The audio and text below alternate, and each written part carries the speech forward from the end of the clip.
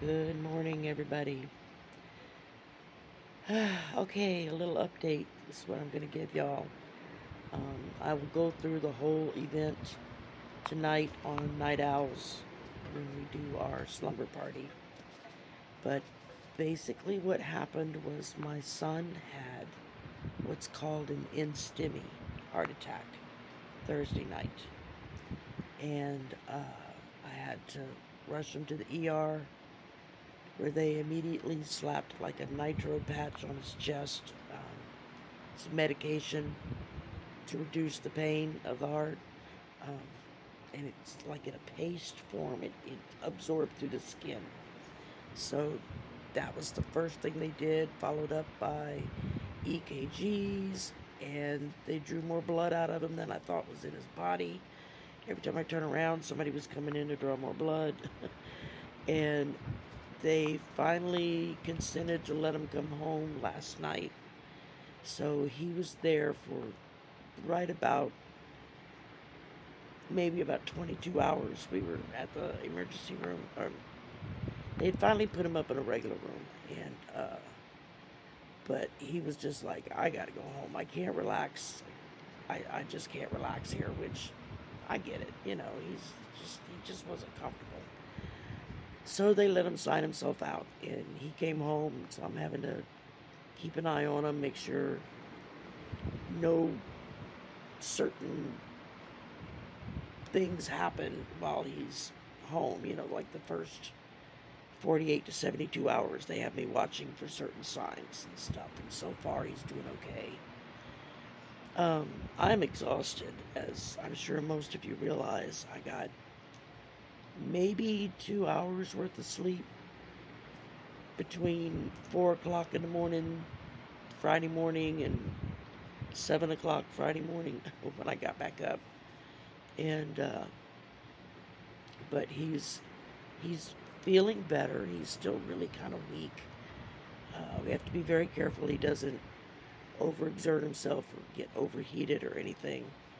Uh, I take him back to the doctor on Monday to follow up with some medications that they're going to try him on.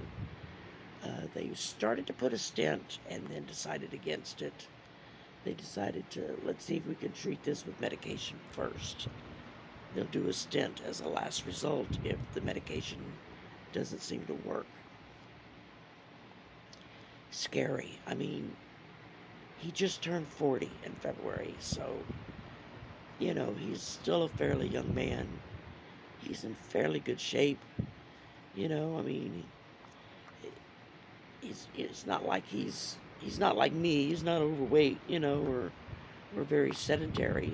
You know, he's pretty active, and uh, he's pretty good shape uh, for a forty-year-old man. But um, yeah, scared the bejesus out of me. I will admit. I I just I'm still if I sit and think about it too hard, I get all just kind of freaked out about it all over again. Because, like, that's my baby. You know, what can I say? Uh, but he's home. He's doing a little bit better. We're just taking it real easy. Uh, I just wanted to give a quick uh, update. I want to say a great big thank you to everybody who has reached out and sent me messages of encouragement and love that have sent healing and, and, and white light energy to my son and to me. It is so, so appreciated. I can't even begin to describe. When I start thinking about it, I, start crying again. It's been overwhelming, the response. Um, I know uh, middle of the night Thursday night as we were I had gone outside so I could text my brother and let him know what was happening. And uh, I was on the air with Helen Irish Granny Tarot and Denise Siegel when it happened. So I had to like drop out on them instantly. And so Helen had texted me several times you know are you okay? Are you okay? What's going on? So uh, we got on the phone and we talked. She talked with me for a while and kind of helped bring me down a little bit. So, Helen, thank you. sister of my heart. Oh my God, you, you don't know how much that meant to me. That at 2 a.m. you were on the phone with me, making me calm. That means a lot. And uh, I talked with Marina a few hours later, uh, Heart Center Tarot. She and I got on the phone and talked, and Maria, Marina was there to, you know, encouragement and and just comfort and just uh, I really cannot say enough thank yous to those two lovely, lovely ladies for just being there for me. And then a little later, uh, Arthur called me and he and I talked for a while on the phone. He's going to help me set up a GoFundMe. I, hate to even ask about that because I'm to, you know, we're to have to cover expenses, medical expenses not covered by his insurance. And I just don't have that kind of money. I mean, who does, right? I mean, maybe Bill Gates does, but we don't. Um, so I'm to get a GoFundMe set up. I'm to try to get that set up today. And uh, I'm reading up on how to go about setting it up and everything. Like I said, Arthur's going to help me with that. And um, I spoke with Linda G as well, and she was like, "Yeah, do the GoFundMe. Let, you know, make sure you send it out to all of us so we can spread the word." And um, a couple of people have already made donations to my Venmo or my PayPal account. Thank you. That that really helps tremendously. You have no idea because it's not just all the expense of everything that's happened, but he can't go work now and my son is, uh, you know, he's a musician and sound engineer, and so he's paid by the gig. So he doesn't, you know, it's not like he doesn't get sick leave or anything like that. If he doesn't work, he doesn't get paid. You know, it's very much like a contract worker. Um, and like I said, he's paid by the gig. So, uh, you know, he's definitely not able to work this weekend. We don't know if he can even attempt to try to go back next weekend. We'll have to see what his doctor says on Monday. Uh, it may be a few weeks before they let him go back to work. I don't know. He's hoping he can go back on next weekend because that's when he works. It's Friday, Saturday, Sunday, and uh, but we'll uh, we'll see what happens. We're just taking it a day at a time. So you know, the money is a big help because it helps me put some money aside to start covering some of these expenses that aren't covered by his insurance and uh, to kind of help fill in the gap of lost income because he's not able to go work. And so, uh, you know, if, if if you're willing to, to, you know, if you've got a couple of bucks, five bucks, ten bucks, twenty bucks, whatever, every little bit helps, you know.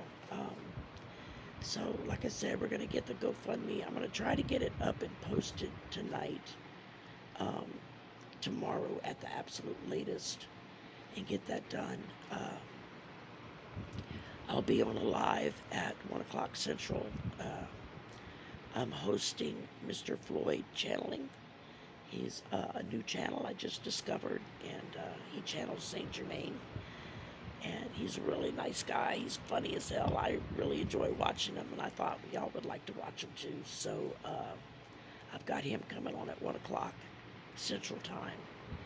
And then, of course, the slumber party tonight at 11 o'clock p.m. Central Time. Uh, and uh, uh, where I'll go through everything that the doctor said, what exactly it happened, and what caused it, and all that kind of stuff. And could talk about that and maybe, you know, give enough information to prevent anyone else from having this happen to them or to someone they love because yeah, that's that's terrifying. And when it's your child, I don't care how old he is, he's still my baby. He'll always be my baby.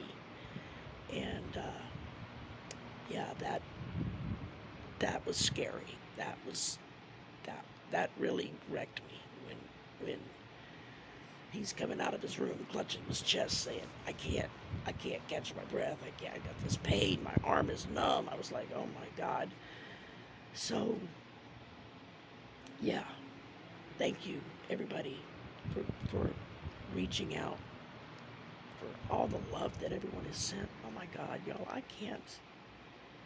I get choked up whenever I think about it. Just all of the wonderful words of comfort and and and love and encouragement that y'all have sent has just has been overwhelming, and I can't even begin to say thank you. It just doesn't feel adequate. I'm gonna start crying again. Okay, I'm not gonna cry. Anyway, I just got up shortly, a little bit ago, and sitting down here on the patio, trying to get my head wrapped around my day, get things planned out, what I need to do, and, and uh, I got you know other stuff I need to get taken care of as well. So um, I will see y'all later today, and then again tonight. Uh, thank you, thank you, thank you to everyone, just to everyone, y'all. Y'all truly humble a person. The love and, and, and the caring in this community is truly overwhelming. It really, really is. And I just want to say thank you to everybody. Thank you to those who may be able to help contribute, you know, in the future. Um, and if you can't, you know, hey, I get it. Times are rough right now, right? I mean, if you can't give a couple bucks, then just share the GoFundMe. Get it out there and um, let people know what happens. And, uh, I'm going to try to explain in the in the description of the GoFundMe what happened, how it happened, what what causes it. Look at this, I'm crying. Um, and uh, yeah, I'm kind of rambling right now. I'm still not awake all the way. I'm still tired as hell. So, okay, I'm gonna say goodbye now, and I will see y'all in a few hours, and then again tonight. Y'all have a great day. Go hug your children. If they're not at your, if they're not at home with you, call them and tell them you love them. Go tell the people important to you how much they mean to them, because they could be gone that fast. And that was brought home to me really sharply this weekend. And uh, yeah. Okay, I'm gonna say goodbye now before I start blubbering like a baby. And I will talk to y'all in a little while. Have a great day. I'll see y'all at 1. I'll see you again tonight at 11. And uh, keep the faith, y'all. Divine sources is powerful. Spirit is, is so powerful. Thank you.